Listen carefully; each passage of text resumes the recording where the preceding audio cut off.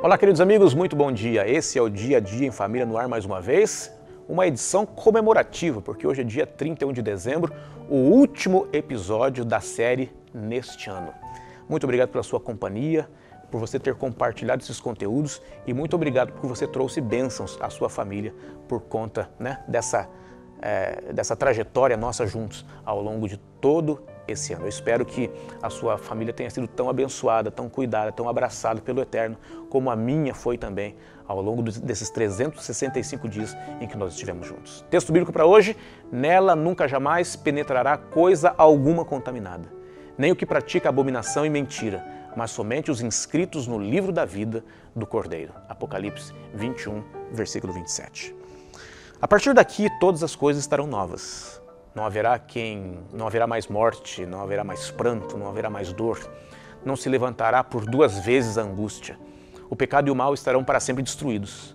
As mãos cicatrizadas de Jesus serão um eterno escudo contra a possibilidade de haver pecado outra vez. Ao olharmos para trás, veremos quão pouco foi o tempo de nosso sofrimento e provações, se comparados à eternidade de glória e paz.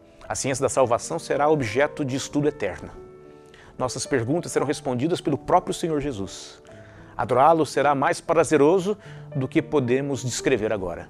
As viagens para outros mundos serão uma realidade sem fronteiras. Conversar com os anjos, especialmente é, os que nos guardaram em nossa peregrinação, será um deleite para nós. Conhecer outros salvos que viveram em outras gerações será uma constante fonte de alegria. Conviver com os animais sem nenhum dano, mal ou medo parecerá um sonho. Pegar dos frutos da árvore da vida e beber da água do rio da vida serão coisas rotineiras. Qual a razão de tamanha alegria? A alegria se deve ao fato de que o grande conflito terminou. Pecado e pecadores não mais existem.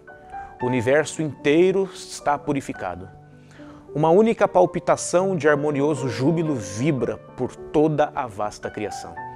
Desde o minúsculo átomo até o maior dos mundos, todas as coisas animadas e inanimadas, em sua serena beleza e perfeito gozo, declaram que Deus é amor.